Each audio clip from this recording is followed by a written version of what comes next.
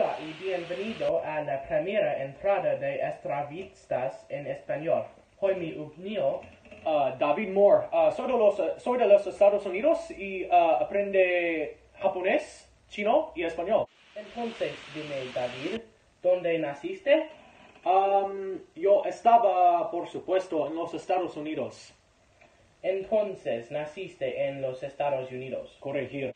Ahora, respóndeme este David. ¿Disfrutas México? Ah, sí, sí, sí, sí. Ah, me, me gusta mucho México.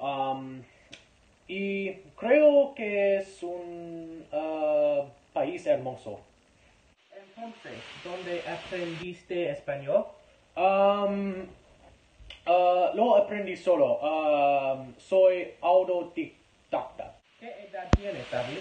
Tengo 16, ah, pero tendré 17 en mayo. Ah, sí. Bueno, esto completa nuestra primera entrega de entrevistas en español.